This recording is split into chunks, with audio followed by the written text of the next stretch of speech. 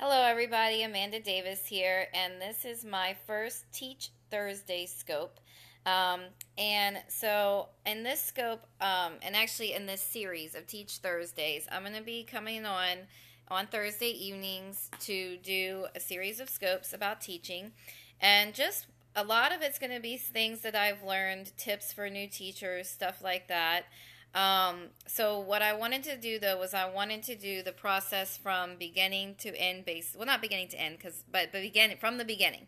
So the first thing if you're going to be a teacher is you need to get your teaching license or be certified or whatever the case is. So you have to start somewhere, put it that way. You can't just say, "Oh, I want to be a teacher one day" and go and get a job the next day. Um, so I wanted to start from the beginning and just, I want to say that I'm not an expert. I'm just a teacher that has some experience, and I just feel like I can share with some other people.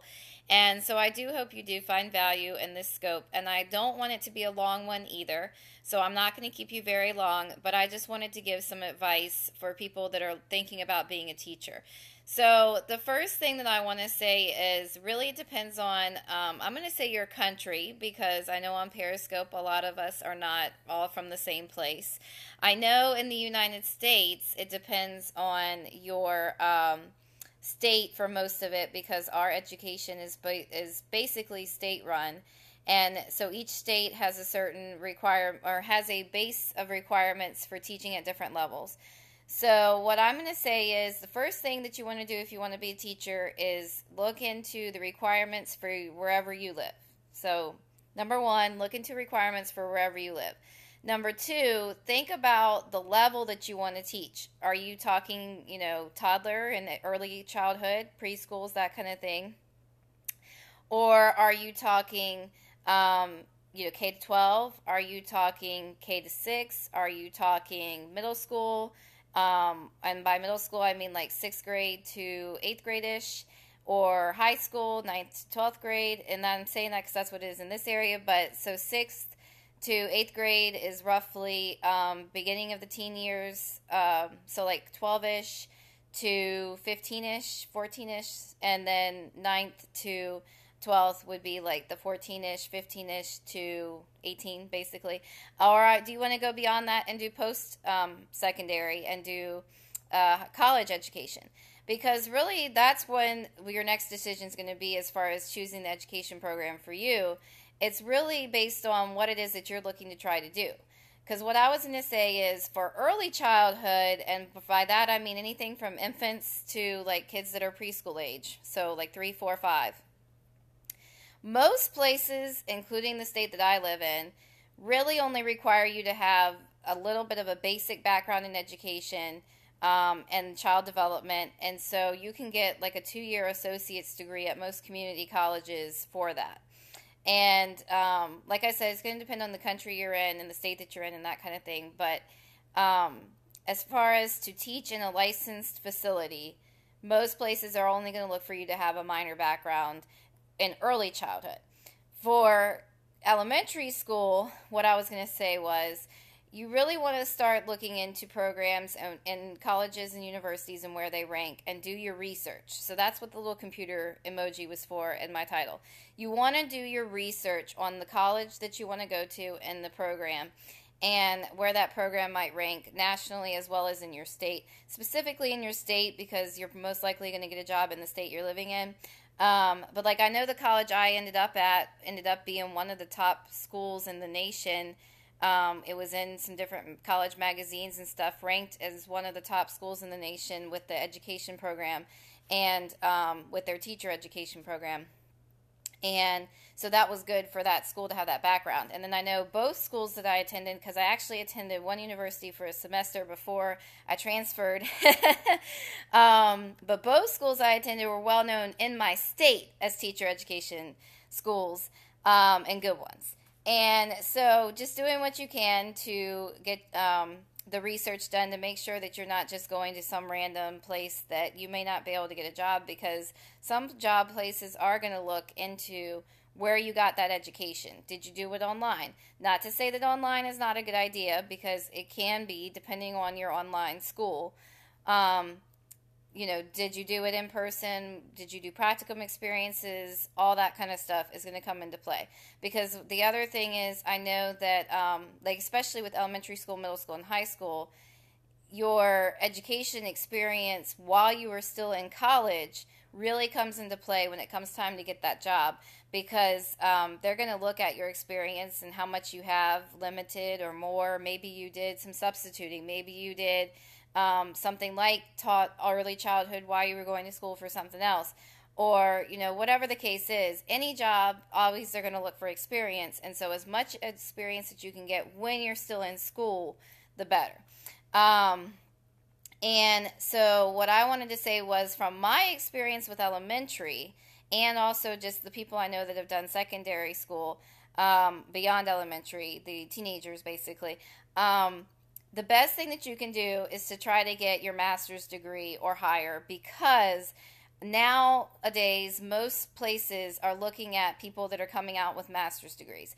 I have my master's degree, um, and I have a master's in teaching for early and elementary education is what I have, and uh, but if I were to be in the running for a job against somebody with only a bachelor's degree, I'm most likely going to get the job because I have the master's degree. The other thing is, I know in my state, you don't have to do as much for recertification if you have a master's degree. You still have to do some requirements. Of course, you're still going to always have ongoing professional development and that kind of thing. Um, and even in the early childhood, I have ongoing professional development. But um, you do have to do less for the teacher recertification if you have your master's degree than if you only have a bachelor's. And so, as with choosing what it is that you want to teach, you also have to think about what your major is going to be. So, I know in my state, the way that it works is for elementary, it's just a blanket. Um, your major is an, uh, a blanket major for elementary. And then um, we did a lot of like child development courses and that kind of thing. But for secondary, you actually will major in the subject that you're going to teach, whether that be history or math or foreign language or whatever the case is. Um, and then you have a secondary thing on top of that that's to do with the education piece of it. And it's almost like a double major, basically. Um, and that's how it works in my state.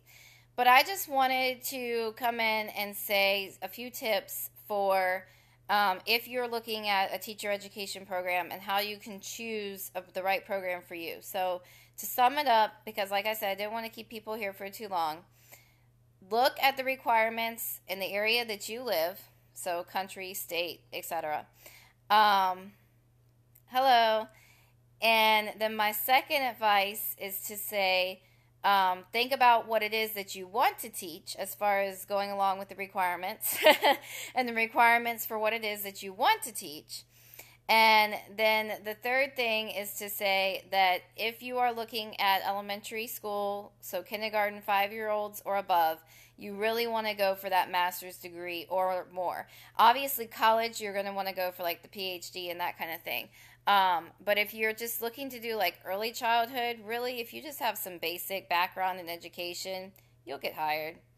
And some experience with kids, that kind of thing. Um, you don't have to spend all that money that it does cost to get a master's degree to be able to do um, early childhood, although it does look good. So, and it looks good on the school to have somebody with a master's degree hired, but um, that's beside the point. But anyway, um, and I really just wanted to share from my experience some advice for people. Um, and so the next topic that I'm going to talk about next week is going to be I want to talk about getting the most out of your student teaching and practicum experiences before you get into the classroom. And then from there, I plan to try to do some topics on, like I said, first year teacher tips, because I know I had a really rough, actually, first two years and um, just and then I'll probably do some like early childhood tips, that kind of thing. Um, since I'm currently in early childhood, I'll also probably do some um, elementary tips because my background is elementary education. Um, I've actually this is my fourth school year teaching. But I feel like in the four years that I've been teaching, I've got I've gained some good insights, and I actually because um, and I started teaching fourth grade. I've been in the early childhood field with toddlers, two year olds specifically. um, two and three year olds since June of 2014. So that is a year and a half. So I can't believe that it's been four years since I graduated college, but um, it has been. And so I just wanted to come on and do some things for fellow teachers. Um, I know there are some teachers here on Periscope and just people that might be interested. And um, yeah, they do. The two year olds do have a lot of energy. I'm, I'm still teaching the two year olds, um, and they do have a lot of energy. And but I like it. It's fun.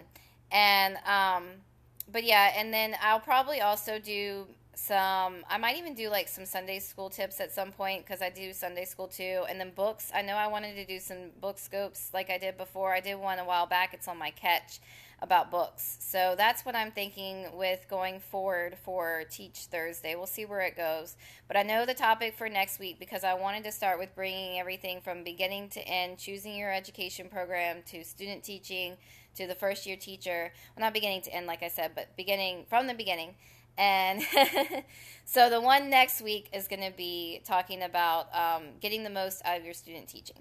And I do want to thank everybody for joining. Thank you, Shakita, for joining and for the hearts and um, the comments there. And I will see everybody next time.